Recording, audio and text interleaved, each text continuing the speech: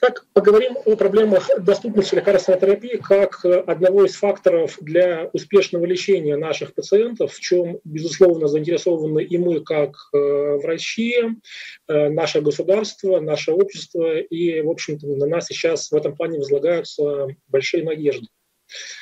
Итак, э, мы сегодня много говорили о том, что сейчас выделяется все больше и больше средств на лекарственное лечение, но э, есть небольшая проблема. Если, если посмотреть на общемировые тенденции, то глобальные затраты на противоопухолевые лекарства, они, вообще говоря, возрастают с огромной скоростью. И по э, данным ВОЗ за последние пять лет глобальные траты на, против, на противоопухолевые лекарства выросли с 90 миллиардов до 133 миллиардов долларов. То есть примерно плюс 8% у нас ежегодно добавляется к стоимости лекарственной терапии, что, вообще-то говоря, сейчас резко опережает темпы роста экономики практически всех стран. Если говорить о том, как непосредственно влияет доступность э, современного лечения на выживаемость больных, то, мне кажется, это наилучшим образом иллюстрирует данные тех исследований, которые были посвящены э, взаимосвязи наличия у пациента страховки. Э, большинство этих работ было проведено в США, но поскольку мы все знаем, что стоимость медицинской помощи в этой стране, она, с одной стороны, является крайне дорогостоящей, а с другой стороны, у них есть прекрасно сделанные регистры и базы данных.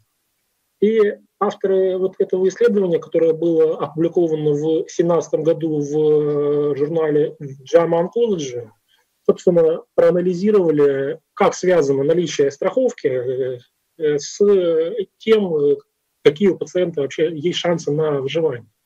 И посмотрите, какие получились интересные данные. Значит, здесь представлено по столбцам данные по трем временным периодам. Слева направо это с 97 по 2002 год, с 2003 по 2008 год и с 9 по 2014 год. И, например, для рака легкого мы видим, что у тех пациентов, у которых был, был некий вид страховки частной страховой компании или страховка в, рамках э, медики или любой иной вид э, публичного, публичного страхования. А по сравнению с теми больными, у которых страховки не было, пятилетняя выживаемость различается практически в, в три раза. То есть для пациентов, у которых был один из видов частной, э, частной страховой программы, показатель составил 30%, по сравнению с пациентами, у которых страховки не было, всего 10%. То есть один и тот же временной период, но разница в пятилетней выживаемости втрое. То есть мы, в принципе, очень похожая ситуация наблюдается при раке молочной железы. То есть мы, мы говорим на данном примере о том, что если пациент не имеет доступа к адекватной современной медицинской помощи и в том числе к современным лекарствам, то его шансы, так сказать, пережить знакомство с онкологическим заболеванием многократно ниже по сравнению с теми больными, у которых есть адекватная страховка. Применительно к нашим реалиям, да, если переносить, у нас э, есть э, как будто бы всеобщая система страхования, то есть у нас все граждане застрахованы вне зависимости от своего благосостояния. Но мы все понимаем, что на самом деле в этом есть такое определенное лукавство, и на самом деле многое зависит от того, в каком регионе проживает пациент, от того, как, какая там действующая территориальная программа здравоохранения, э, какое финансирование выделяется на лекарства, мож, может ли пациент э, вовремя, собственно, попасть да, к онкологу, к химиотерапевту, и будет ли ему назначено адекватное лечение, либо этого не произойдет. И многие такие факторы присутствуют, которые, к сожалению, на данный момент, многие из которых представляются непреодолимыми. Если говорить о текущей ситуации с финансированием в нашей стране, то да, мы много говорили о том, что 200 миллиардов было выделено на лекарственную помощь, и ну, может так показаться, что эта сумма оказалась столь значительной, что ее даже не смогли в полной мере использовать. То есть может сложиться вот такая иллюзия, что денег хватает сейчас на все. То есть, то есть мы видим, да, что в некоторых э, регионах у нас даже менее чем наполовину были израсходованы те средства, которые были выделены на э, лечение онкологических заболеваний в рамках нашей большой федеральной программы. Но, тем не менее, 200 миллиардов – это, конечно, с одной стороны, очень много, но с другой стороны, в современных реалиях мы уже можем говорить о том, что этого недостаточно. Этого никогда не будет достаточно, если мы не изменим кое-какие свои подходы, что я сейчас э, постараюсь проиллюстрировать.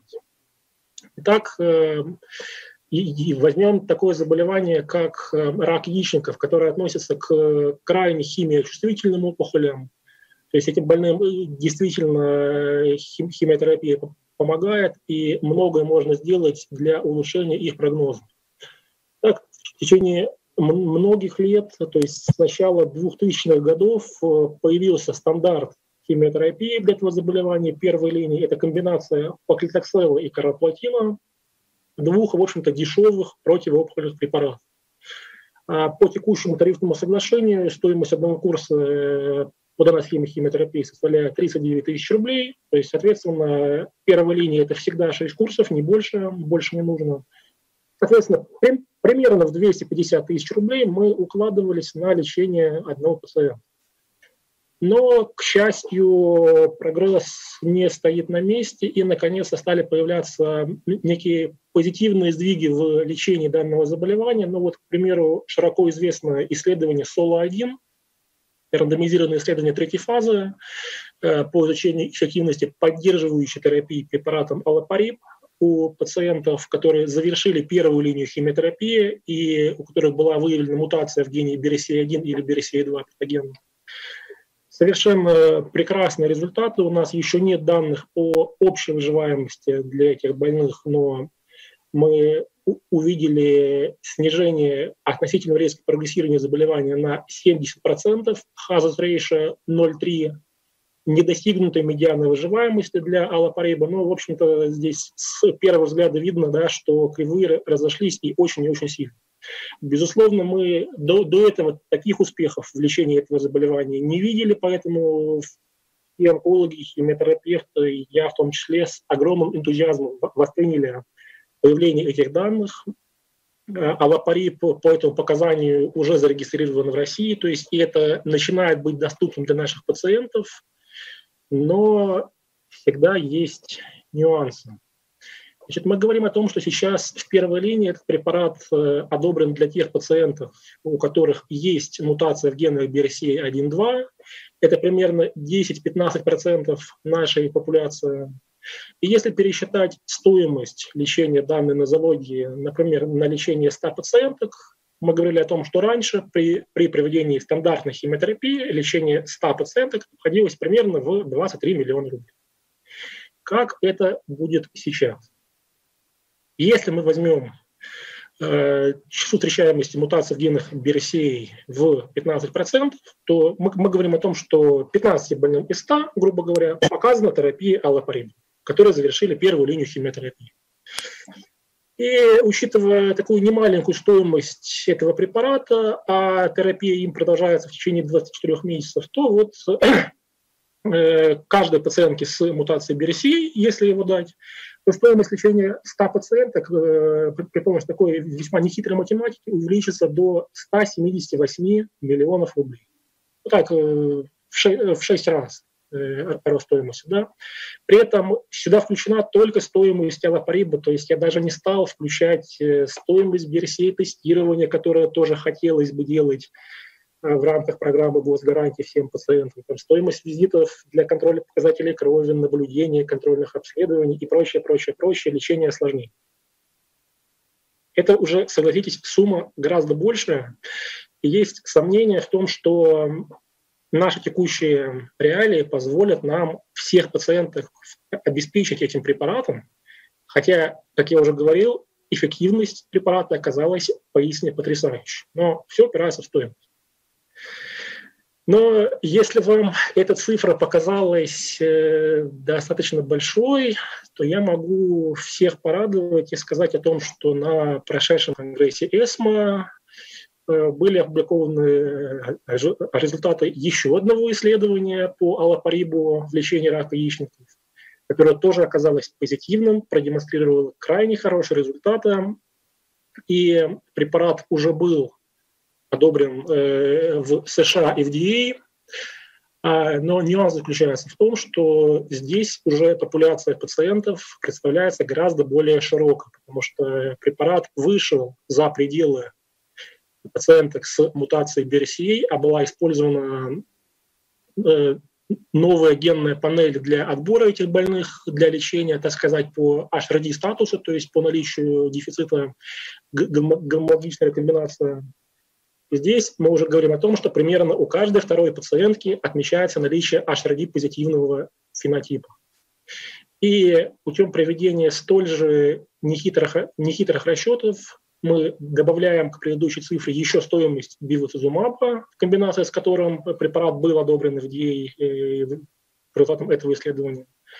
Увеличиваем количество пациентов, которым нужен авапарит, втрое, и получаем цифру на лечение 100 больных уже примерно в 600 миллионов рублей. То есть рост э, за последнее время э, стоимости лечения этих больных произошел в 25 раз. Точнее, он еще не произошел, препарат в России еще не, не одобрен, но я, честно говоря, не думаю, что наше родное Министерство здравоохранения, наш регулятор откажет этому препарату в регистрации, потому что тоже неплохие результаты. Препарат уже одобрен в FDA. Я думаю, что европейский регулятор скоро примет э, схожее решение. И поэтому нам придется столкнуться именно с такой проблемой. Так, на этом примере я просто проиллюстрировал, как э, прогресс в современной лекарственной терапии превратил лечение дешевого относительно онкологического заболевания в крайне дорогостоящее удовольствие. И я думаю, что ни для кого не секрет, что сейчас подобные же изменения происходят в лечении очень большого количества злокачественных новообразований. Э, рак молочной железы. Э, подавляющее э, большинство пациенток являются гормонозависимыми, и если говорить про лечение диссеминированного опухолевого процесса, то, пожалуйста, раньше первая линия терапии – летрозол, 2000 рублей в месяц, или тамоксифен, или фулвестрант. Речь шла о небольших суммах, но сейчас мы вступили в новую эру, в эру применения CDK-ингибиторов первой линии терапии данного заболевания. И, в общем-то, их стоимость сейчас составляет э, примерно 200 тысяч рублей в месяц. Э, высокая эффективность в первой линии, увеличение общей выживаемости. Опять-таки, мы приходим к тому, что лечение этого заболевания станет очень дорогим. Тройной негативный рак молочной железы, иммун, иммунотерапия очень активно внедряется в наши стандарты. Уже сейчас это атезолизумаб для PDL-позитивных больных в первой линии. Скоро, видимо, это будет еще пембролизумаб. Те же препараты сейчас идут в неоадъювантную терапию и так далее. То есть мы сейчас стоим на пороге того, что стоимость онкологической помощи, современной онкологической помощи, то есть того, к чему мы должны стремиться, будет многократно возрастать. Параллельно с этим мы говорим о том, что деньги, которые были выделены на э, улучшение ситуации в нашей программе здравоохранения, они, конечно, во многих ситуациях должны существенным образом ситуацию изменить. Потому что если посмотреть на ту статистику, которая есть, это из э, тех данных, которые собирают сейчас, собирают сейчас под руководством Андрея Дмитриевича Каприна, профессора Старинского. Я намеренно удалил из таблицы многие строки и решил остановиться на трех заболеваниях. Это рак яичников, это рак молочной железы и рак поджелудочной железы. И если посмотреть на выделенный столбец этой таблицы, мы можем увидеть, что значительная часть этих пациентов проходит, так сказать, радикальное лечение с использованием только хирургического метода. То есть, посмотрите, рак поджелудочной железы, где по стандартам и нашим, и зарубежным 100% пациентов должны получать системную терапию или в неоадъювантном виде, или в адъювантном режиме, но 100% пациентов должно ее получить. у нас мы видим, что 56% пациентов с этим заболеванием не получают никакой систем, системной терапии вообще. Хотя для этих больных адъювантная терапия, адекватно проведенная неоадъювантная терапия может существенным образом влиять на общую выживаемость. Я понимаю, что сбор данной статистики, он, вероятно, имеет некоторые погрешности. То есть, что часть больных вследствие несовершенства канцер-регистров э, просто не попадают у них данные по проведенной лекарственной терапии. Там часть больных уезжает лечиться за границу, часть больных в силу там, пожилого возраста, сопутствующей патологии не, мог, не могут получить химиотерапию. Но даже если мы уменьшим эту цифру вдвое, вот с этими погрешностями, то есть все равно мы говорим о том, что пять больных не получают никакой лекарственной терапии.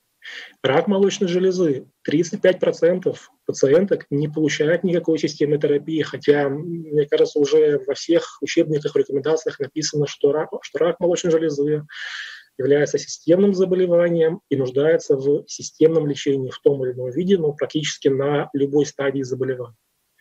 Рак, рак яичников.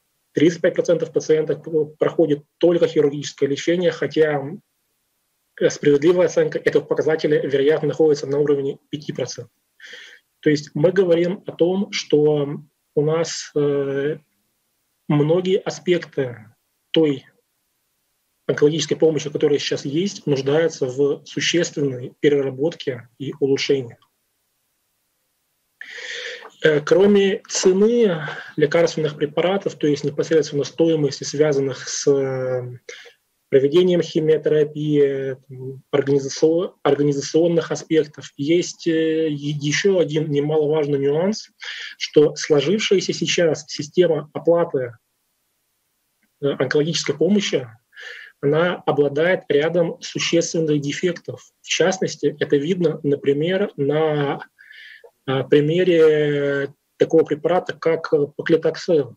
Старый, достаточно дешевый препарат, который обладает одной очень интересной особенностью при лечении ряда пациентов, ну, в том числе рака молочной железы, тройного негативного, хер-позитивного.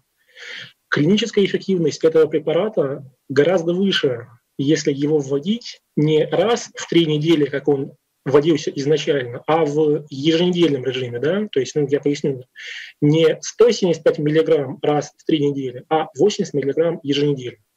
В адъювантной терапии, в неоадъювантной терапии, при лечении диссеминированных больных, ну, просто в силу тех или иных причин он, он так эффективнее. Э, в левой части слайда представлен метаанализ, авторы которого продемонстрировали убедительное снижение риска смерти, то есть увеличение общей выживаемости на фоне применения препарата в еженедельном режиме по сравнению с трехнедельным режимом. Казалось бы, это то, что не требует даже какого-то ну, дополнительных новых э, дорогостоящих таргетных препаратов. Просто берете тот же препарат и вводите его не раз в две недели, а раз в неделю. Но что нам об этом говорит, э, например, город, город Москва? А в городе Москва есть такое вот тарифное соглашение на 2020 год, по которому осуществляется оплата экологической помощи. И он говорит, что в тех случаях, когда схема лечения предусматривает интервал между введениями лекарственных препаратов менее двух недель, то есть когда, как еженедельный пакетоксал, один законченный случай лечения формируется из трех таких циклов введения. То есть получается, что лечить пациентов лучше в соответствии с современным, современными об этом представлением практически прямо наказывается рублем регулятором. То есть приходят э, эксперты ФОМС и смотрят на наши интервалы между введениями препаратов. Соответственно, так, таким образом ограничивается доступность для пациентов современной лекарственной помощи. То есть совершенно искусственный способ. Если говорить о других аспектах э, того, что почему же у нас новые препараты стоят так дорого, то Безусловно, мы говорим о том, что сейчас, да, да, действительно происходит большой прогресс в лечении онкологических заболеваний. И на самом деле существенные усилия фарминдустрии сейчас сконцентрированы именно на изучении э, новых противоопухолевых препаратов, поиска новых показаний к применению тех препаратов, которые уже существуют. То есть мы видим, что примерно 30%, 30% всех препаратов, которые есть в разработке, это именно препараты противоопухолевые. Но посмотрите, что иногда происходит. Иногда случается так, что компании очень заинтересованы в том, чтобы продвинуть свой препарат, да, чтобы захватить под него как можно больший рынок, э, э, э, ресурсную базу, проводится сразу большое количество исследований, и очень ярким примером, на мой взгляд, этой проблемы является исследование Affinity. Это рандомизированное исследование третьей фазы, которое было посвящено изучению эффективности добавления пертузумаба, одного из антихер-2 препаратов, к стандартной химиотерапии и трастузумабу в адъюванте у больных с раком молочной железы, ну, соответственно, хер-позитивным. 4805 больных приняло участие в этом исследовании. Э, период, период наблюдения составлял в, в этой работе до 10 лет, то есть э, большой долгосрочный проект с очень большим количеством участвующих центров и пациентов в этом исследовании. И эта, эта работа, с одной стороны, оказалась позитивной, и пертузумаб действительно в адъювантном режиме смог продемонстрировать улучшение безрецидивной выживаемости этих пациентов.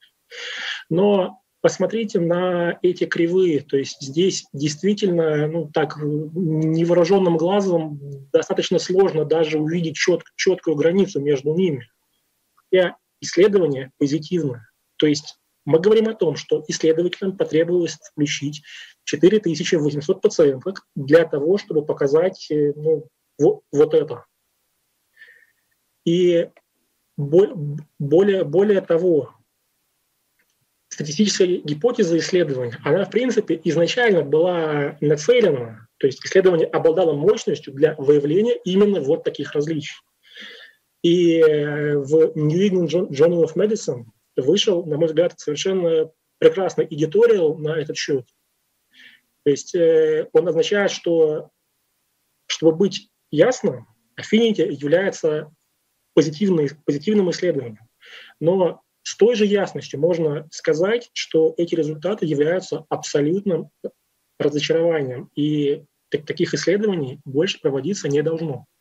Но тем не менее, препарат, исследование проведено, препарат зарегистрирован, показания есть. И как мы все понимаем, так или иначе, стоимость проведения этого исследования, оно прямо транслируется в стоимость этого препарата. То есть в конечном итоге за проведение этого исследования заплатят ну, пациенты и система здравоохранения, и косвенно мы, мы с вами как налогоплательщики.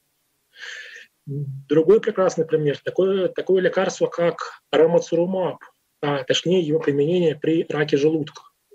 Есть не менее двух исследований по изучению его эффективности во второй и последующих линиях терапии этого заболевания. Это рандомизированные исследования, исследования третьей фазы Регард и Рейнбоу. Сразу, сразу скажу, что оба исследования были позитивными и, в общем-то, продемонстрировали очень похожие различия в своей эффективности разница в медиане общей выживаемости в 1,4 месяца в исследовании Регард и в два месяца в исследовании Rainbow. То есть, да, оба исследования позитивными, позитивные, но выигрыш, который получили эти пациенты, он, прямо скажем, небольшой. А сколько же стоит э, такой выигрыш. Я не случайно привожу цифры не в более привычных нам валютах, а в фунтах стерлингов, потому что на этом примере я бы хотел показать один из возможных подходов, который практикует э, британский регулятор системы здравоохранения. То есть мы говорим, что затрата на лечение одного пациента при применении этого препарата составляет от 21 тысячи фунтов стерлингов до 36 тысяч при, соответственно, той эффективности, о которой я рассказал. И британский регулятор, сфера здравоохранения, он, что, на мой взгляд, делает очень правильно, он учитывает не только клинические данные при решении об одобрении или неодобрении того или иного препарата, но и, кроме этого, учитывает их э, экономическую стоимость, выгоду и целесообразность их применения, хотя, конечно же, когда мы говорим о лечении реальных людей, да, не всегда корректно и возможно говорить и про стоимость оказать человеческой жизни, но тем не менее посмотрите вот на эти расчеты. То есть, один, то есть у авторов получилось, что один год э, выигранный э, жизни с поправкой на ее качество, то есть показатель кволя, при сравнении с другими режимами химиотерапии, которые возможно применить в том же контексте, он составляет от 145 до 294 тысяч фунтов стерлингов при указанном пороговом уровне для одобрения в 100 тысяч фунтов стерлингов. То есть, ну и, соответственно, британский регулятор отказал компании-производителя на этом основании в одобрении этого препарата именно на основании результатов фармакоэкономического анализа, а не формального анализа данных клинического исследования. Итак, мы говорим о том, что сейчас есть такой порочный круг некий в разработке лекарственных препаратов, то есть что повышение стоимости исследований за счет изучения препаратов с минимальной ожидаемой эффективностью приводит к увеличению стоимости лекарств, следовательно, повышение прибыли фармкомпаний от малоэффективных препаратов, увеличению количества их препаратов, что в конечном счете ведет к постоянному такому циклу повышения стоимости лекарств. Конечно же, в уже ближайшем будущем станет весьма ощутимой проблемой.